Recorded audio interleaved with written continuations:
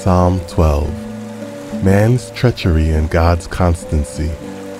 To the chief musician, on an eight stringed harp, a psalm of David.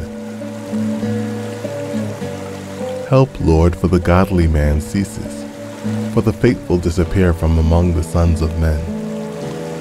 They speak idly, everyone with his neighbor. With flattering lips and a double heart they speak.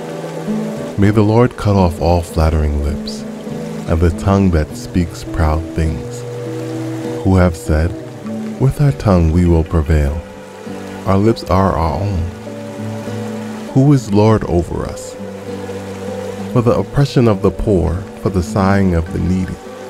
Now I will arise, says the Lord. I will set him in the safety for which he yearns.